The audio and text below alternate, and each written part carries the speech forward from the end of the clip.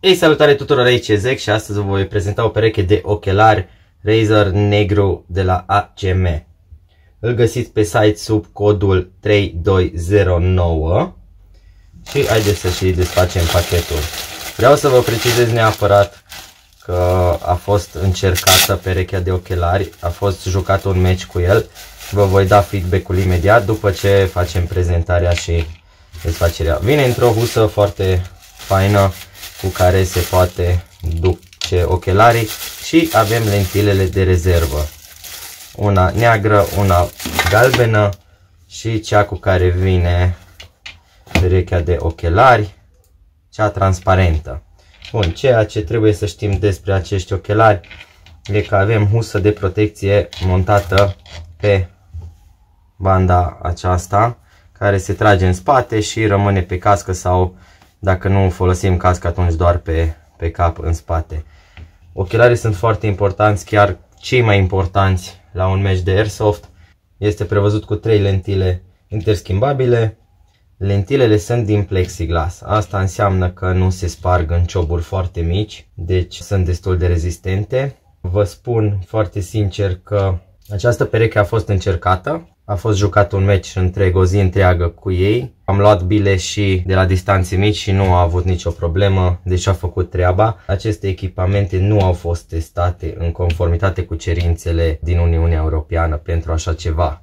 Deci se poartă pe propria răspundere. Ok, ceea ce mai trebuie să vă menționez neapărat este că, deși sunt foarte comozi, mulțumită buretelui, orificiile acestea de aersire, care sunt aici din plastic, după aproximativ o oră, o oră jumate de joc a trebuit să le scot.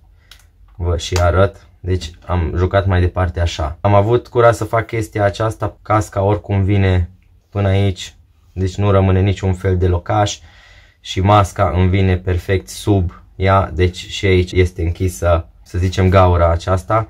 Deci a trebuit să dau jos acestea de aici, uite așa, și așa nu s-a mai aburit absolut deloc două ore nu s-au aburit, după care a început foarte puțin să se aburească, dar nu s-au aburit în așa hal să nu se poată vedea prin ei.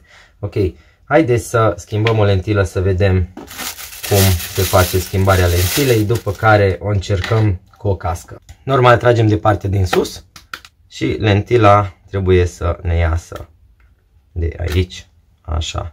Ok, trebuie să știți că Toată rama aceasta este dintr-un cauciuc destul de tare, după cum se vede. Deci lentila o ține pe poziție, putem spune și așa.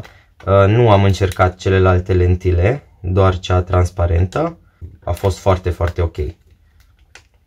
Bun, montăm această lentilă să vedem cât este de greu. Bine, oricum în timpul unui match de, de Airsoft probabil nu vei schimba lentila dar în pauză sau între meciuri se poate face, eu zic, destul de rapid, mai ales după ce o faci de câteva ori și îți dai seama cum se, cum se schimbă lentila. Așa, bun. Deci, intră doar, trebuie să fii atent ca partea aceea din interior să se culce frumos pe, pe lentilă și atunci se închide perfect. După cum vedeți, sunt flexibil, mulabil, de aici se poate da jos inclusiv banderola asta. Probabil, după cum vedeți, se, pot, se poate demonta foarte ușor. Ok, punem lentila transparentă înapoi și o încercăm cu o cască.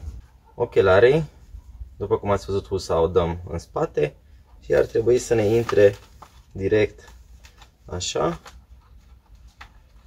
După cum vedeți, stă foarte bine, deci nu apasă absolut deloc dacă avem o mască cu plasă sau orice fel, aici ne acopere perfect și se va închide toate orificiile.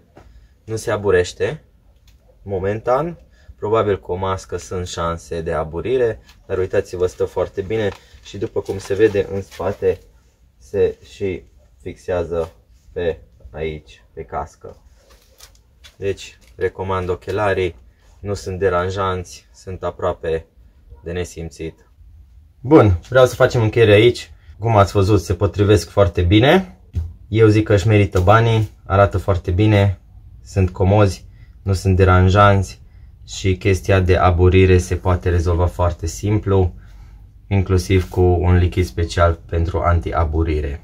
Dacă v-a plăcut acest video, știți ce aveți de făcut, am fost Zeg, am plecat, pa, pa!